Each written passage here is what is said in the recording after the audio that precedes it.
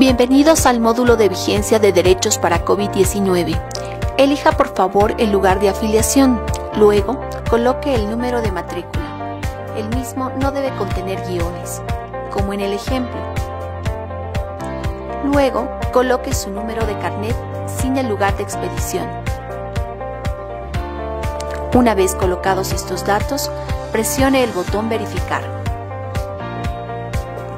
el sistema le desplegará un formulario con sus datos básicos, el cual debe ser llenado por usted en cuanto a los campos que faltan, como nacionalidad.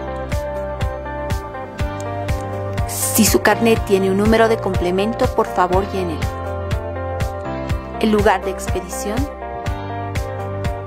Y si tiene alguna observación o complemento en el nombre, puede realizarlo. Si tiene alguna observación en la fecha de nacimiento, puede cambiar la misma.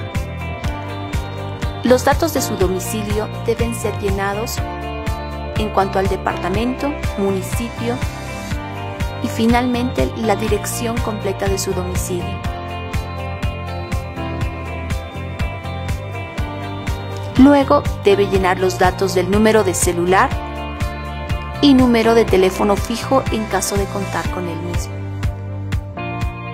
Recuerde que en estos campos solo debe colocar números.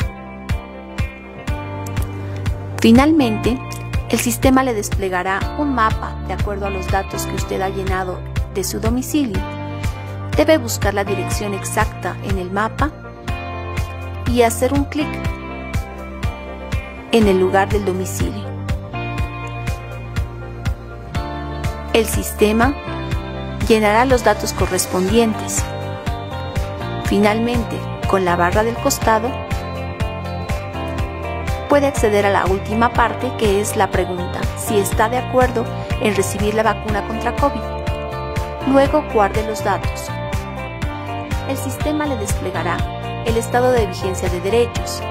En caso de tener alguna observación como estado en mora, debe dirigirse a afiliaciones. De lo contrario, usted ha concluido con el llenado del formulario.